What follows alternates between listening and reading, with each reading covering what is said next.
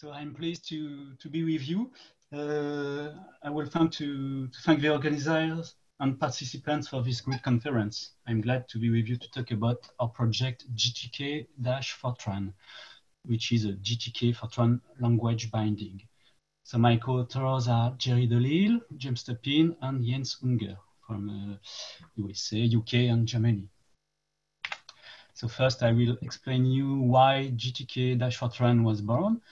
Then I will show you how to install, build, and run the examples with a live uh, demonstration. Then we will have a look uh, inside the machine to see some code. And finally, finally we will conclude on uh, how you, you can use or contribute to the, the project. So first, uh, every scientist uh, needs to, to make some visualization because it, it's useful to understand your, your scientific results. Uh, and also scientists like to, to make beautiful pictures, beautiful images. So on the left here you have uh, the first discovered pulsar. So you can see the regularity of the, the pulse with this visualization. It was in the late 60s. But finally, it's a great frustration for scientists because uh, in the Fortran standard, there is nothing to, to make such things except perhaps ASCII art, as you can see on the right with a Monte Mandelbrot set in 1978. But it's very hard to see that it's a fractal object. So when I was in my PhD in the late 90s, uh, I was using Visual Fortran. So it was digital Visual Fortran, the Compaq Visual Fortran, no, it's Intel. And it had a quick clean, uh, a quick win library for uh, Windows. So when I migrated to, to Linux, I was looking for something to replace that uh, QuickWin library. So I wanted to make some bitmap drawing, uh, scientific plotting, to, to make uh, graphical user interfaces, uh, only using standard Fortran. I wanted it to be, to be multi-platform, Linux, Windows especially, and to be a free software and to be a perennial solution because when you are a, a, researcher, you want your code to run in 10 years, 20 years, some, sometimes longer. Uh, so it's important that the solution uh, be perennial. Uh, there was or there is a lot of great uh, tools to make uh, parts of that specifications, but I was very, I wanted very, many things and uh, I still hadn't found what I was looking for. So, until I read uh, that uh, post on uh, the Complang Fortran news group from uh, Tobias Burnus, who showed that it was easy to create uh, an empty GTK2 window using the ISO_C_BINDING module from the Fortran 2003 standard, because GTK is written mainly in C language. Uh, GTK is also uh, a free software with a GNU LGPL license. It's multi-platform and it's perennial because uh, behind you have the GNOME Foundation, GNOME being the desktop of many great Linux distributions like Debian, Ubuntu, Fedora, Red Hat. Uh, there were three great major uh, GTK versions. So in uh, 2002, GTK 2.0, in 2011 uh, GTK 3.0, and I hope in, uh, at the end of this year there will be GTK 4.0. In fact, GTK is not a library, it's a collection of libraries. So there is GTK itself with all the widgets to create a graphical user interface, but it's based on the glib, which is a general purpose utility libraries, and the G object library, which allows to, to make some uh, oriented object programming using the C language. But there is also the G, GDK Pixbuf uh, library for pixel drawing. There is the Cairo library for vectorial drawing, uh, GIO for input-output, uh, GDK, Pango for the fonts, ATK, so a lot of libraries. Uh, so we launched the project with uh, Jerry DeLisle and uh, Jim Tappin and Jens Hunger, and the first commit was in uh, January 2011. And now in our project, uh, we have 10,000 functions from the GTK libraries. An important thing to understand is that in my talk, I will talk a lot about graphical user interface and graphics, but it's GTK Fortran allows also to, to do other things. There is a lot of functions for strings, regular expressions, date, time, find, network utilities, lists, trees, tables, etc. And of course, uh, we have tested only 500 functions in our tools and examples. So if you want to to help us test our question, our functions, you can uh, you are welcome in the project. So you can see uh, on the bottom a timeline with commits in the GTK3 branch. GTK3 arrived just after the beginning of the project, two or three months later. So you can see that there was a lot of activity in the two first years where the project was maintained slowly, calmly. And then there is here uh, more activity since the beginning of uh, 2019 because uh, we are now preparing for the GTK4 release. So now I will show you, uh, try to show you how to, to install and use GTK Fortran. So you can go on our GitHub, uh, GitHub homepage and uh, download the zip of the source code, or you can use git clone if you have a GitHub account. You need some dependencies, of course, a compiler. Uh, I'm using uh, essentially a GFortran at the moment. You use CMake to build. You use some uh, development files for the GTK3 library here. And if you need if you want to use plplot, you need the dev files for plplot and its driver Cairo. So no, I will go into my uh, my terminal to try to to show you um, what uh, you can do. So here is a GTK Fortran directory. Um, you can see that there is no build directory. So I will uh, create a build directory and go into that directory. Okay, now I need to configure CMake, CMake point point. So you can see that uh, CMake has detected uh, GFortran 9.2.1, uh, GTK 3.24.12, and uh, plplot 5.14. So now I will build the whole project and its examples um, with the command make dash g. Dash g is for parallelism to, to build faster. It will take uh, just uh, 30 seconds. So you can see the whole library is built, the examples, some warnings uh, in the release uh, build, but it's because of the PDL export for, for Windows. Okay, so it's finished. The project is built. I can now type uh, my uh, ls command to see what's in my directory and can see that there is two two interesting directories now. There is the examples directory and the plplot for the examples plplot. Okay, so let's go in the examples directory. There is around 30 30 examples in that directory. Uh, first, I will launch the uh, uh, Hello example, a very simple example. So a little window with two buttons. If I click on I say hello, the callback function is called and it prints uh, with a print star command uh, some messages in my terminal. And if I click on the second button here, I don't I have located the, the application and the main loop of the window. Okay, so this is the GTK hello example. Um, how many lines of code are necessary?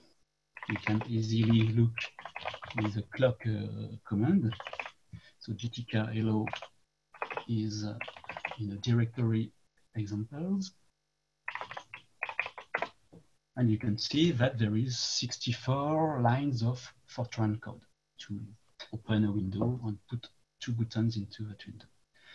Uh, now let's have a look at some other examples like uh, the Cairo clock, HL, because it uses the high-level library of GTK Fortran. So here you have a clock that is running, as you can see, and it's vectorial drawing, so you can maximize the window. Okay. This is based on the Cairo library. Um, now we look at uh, an example that is interesting because there is no graphical user interface. It's a very short example that will just uh, compute an image and save it as a PNG file. So if I look in my directory, I saw a new PNG file in my directory named Sierpinski triangle. And so this is uh, a PNG that was generated by, uh, by this little example. So it's a, it's a little example, uh, pixbuf without and we can, can verify it. There is a few lines of code with the cloc command. So there is 45 lines of Fortran, just to, and in these 45 lines, of course, there is the, the scientific computing to, to compute the, the, triangle. So we can see that it's quite easy to, to create PNG files with GTK Fortran. Now we can have a, a look at a more exciting example. Uh, the buff zoom.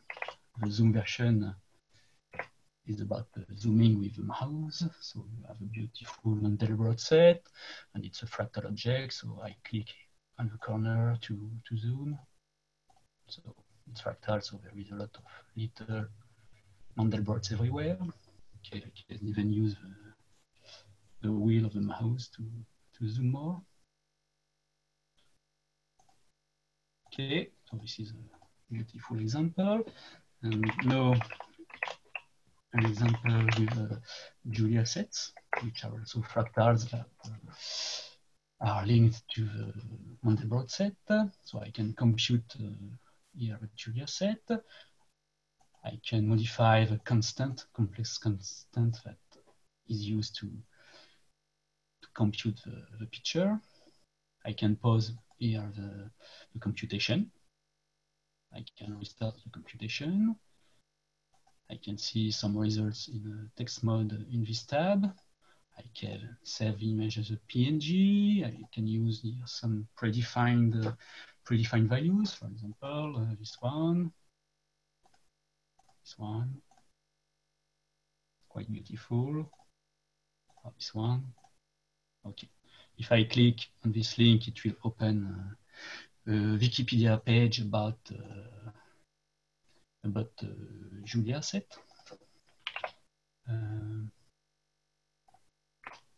So um, this is the Julia set page. So it's the definition is very similar to that of the Mandelbrot set, but here you don't have uh, the Z0 uh, term, but you have a constant C.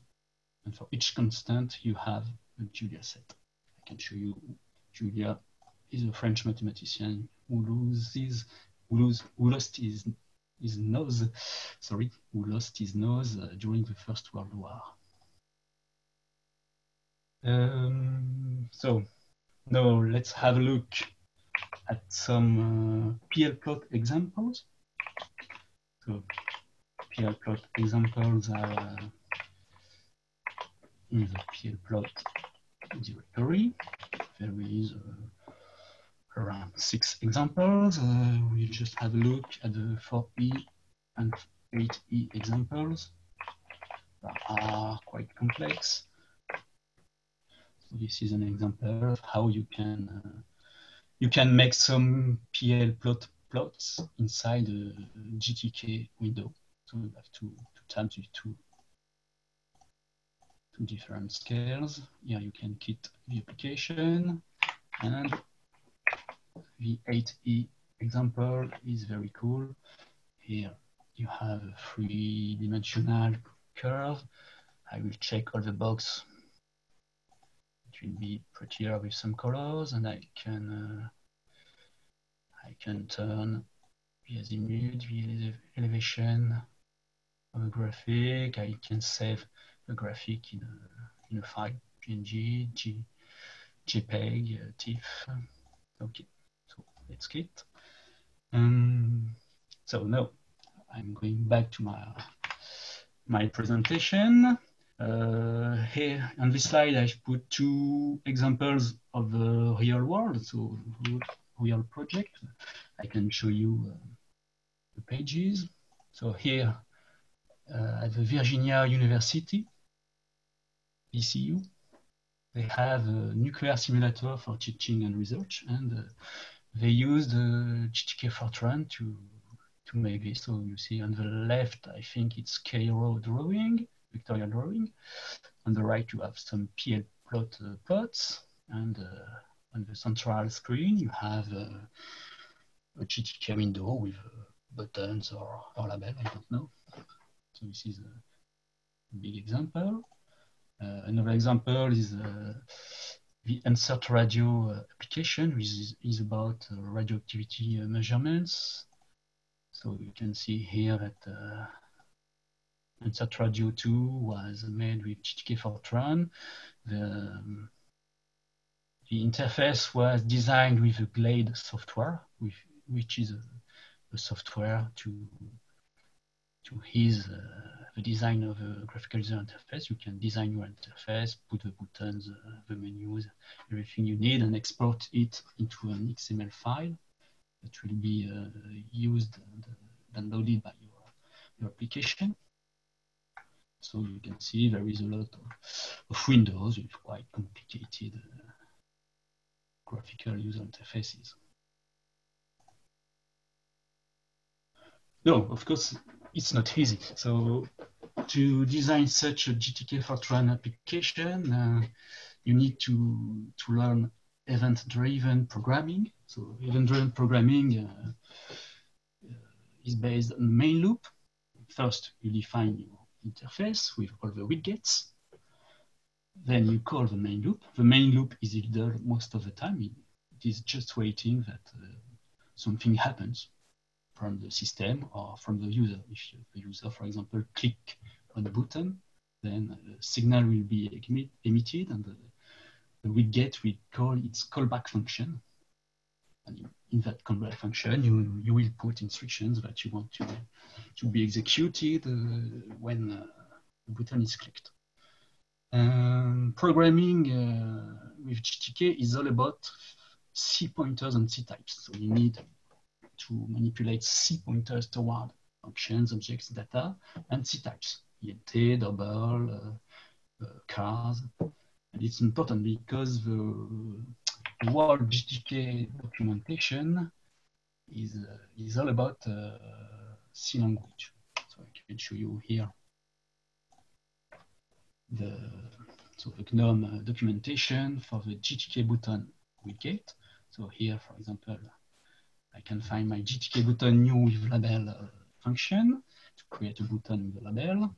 And you can see that the documentation gives me the C prototype uh, of that function with some explanation, parameters, what it returns. Okay. So this is an example uh, of the code needed to create a button. So to create my button, I need that GTK, sorry, that GTK button new with label function. I saw that it returns a pointer, a C pointer, because there is a little star. Uh, and I see that the argument is a character string. So I need uh, the Fortran interface that is uh, in GTK Fortran in that file, gtk-auto.f90. So this is a Fortran interface. So you can see the bind C statement. That means that uh, it will call C function.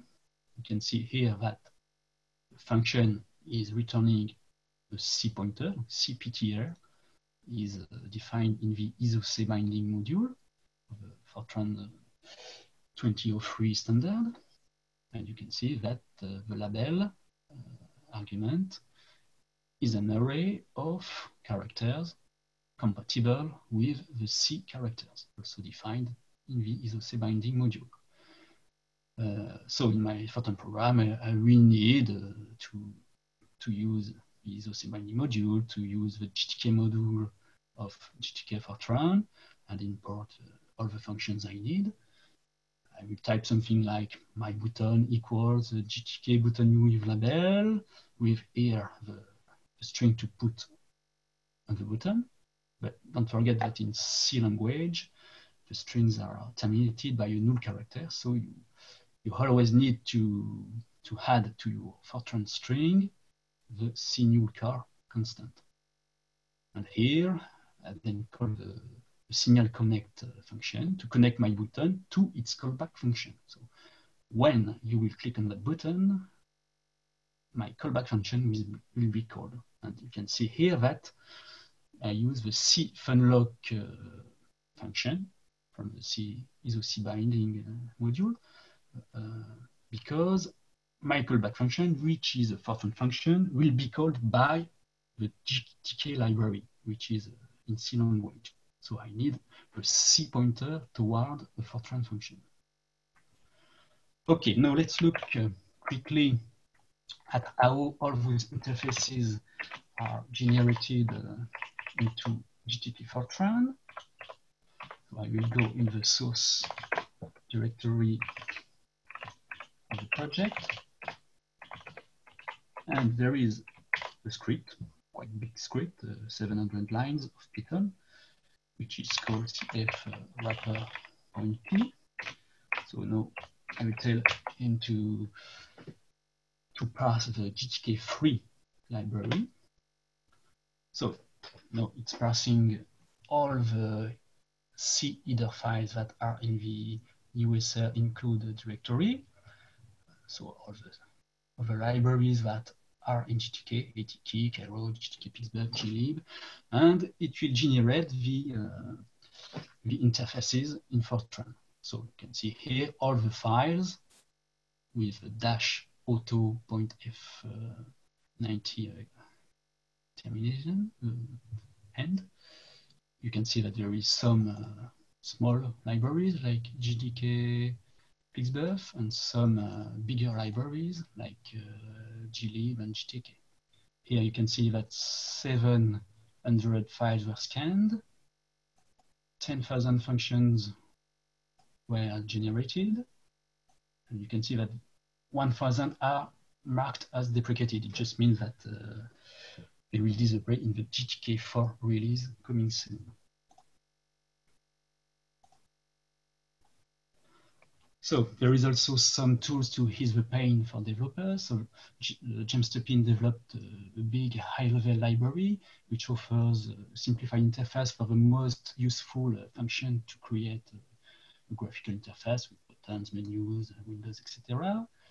Uh, there is also GTKF Sketcher uh, application by Jens Hunger about uh, so you can design your application with Glade and save uh, save the interface as an XML file, and GTKF Sketcher will generate the Fortran code uh, to obtain a GTK Fortran program.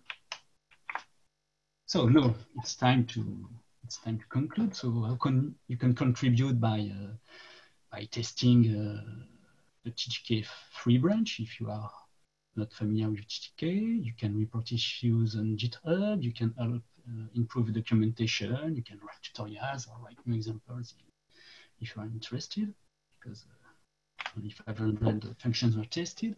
And this is my last slide. So this is a SWOT matrix.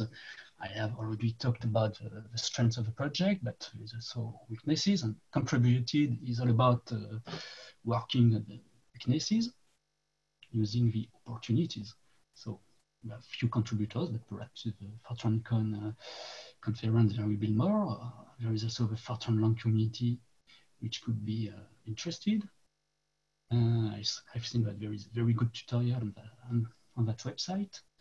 Uh, there is a lot of tools like the IFPN package manager, which could be interesting. The, there is new compilers like LFortran or Flang. There is, there is GTK4. So there is a lot of things that can be done. So my time is over. So uh, I will be pleased to answer your questions now or later on Slack, GitHub, or the Fortran Lang discourse. So no. Um, okay, I stop sharing my my screen. Was it okay? Okay, thanks, Vincent. So there are lots of questions. Like the first one, if you could uh, suggest a good tutorial to learn rapid application development tools like Glade. Uh, sorry, uh, uh can you repeat this? If you could suggest uh, a tutorial to learn to use rapid a, a RAD tools, rapid application development tools. Uh, which tool? Sorry. Like Glade. Glade. Okay. Um, in fact, in, uh, if you look, yeah, if you so, look the wiki of GK. Is it? Is it? Is I? I meant. So, if you could suggest a tutorial to uh, learn rapid application development tools. Yes, uh, there is some uh, some tools here in um, learning GTK and the wiki of the project. You will find some good tutorials, uh, especially this one. Uh, so there are two here 200 uh, video tutorials on GTK free by Michael B. and uh, in its YouTube channel. It's, it's a good start point, I think. And there is here a GTK Glade programming tutorial that is good also. So you will find it on the, the wiki page of the project. Okay, and then there's a next question on how low level this API is. Um, so, uh, uh, yeah, how much code it is actually needed to create GUIs like uh, of particular complexity like this? Yes, uh, for example, uh, we can have a look at the uh, Julia Pixbuf example. So you can see this is the code very 500 lines of code, and perhaps uh, only uh, 100 lines for the scientific computation, and 400 uh, for the other things, but with a lot of, of comments. Okay, and then maybe uh, last question. Um, it is asked that uh, GTK has a LGPL license, but GTK Fortran is GPL. And if there's any change of changing it to LGPL? It could be changed. Yes, it's, a good question. Uh, I'm not an expert, so I, don't know exactly how how we could change the license, but uh, I'm open to to discussion. Uh, at the beginning of the project, we choose the GPL v3 uh, license, but not that we could, for example, release the core of the library with all the interfaces with uh, another license because it was uh, it is uh, generated automatically by a Python script, so it's not written by human being. and I think that for for the code written by a human being, I think uh, if we would like to change the license, we would have to to have an agreement of uh, every contributors, but are not so many. So it's possible. I'm open to discussion.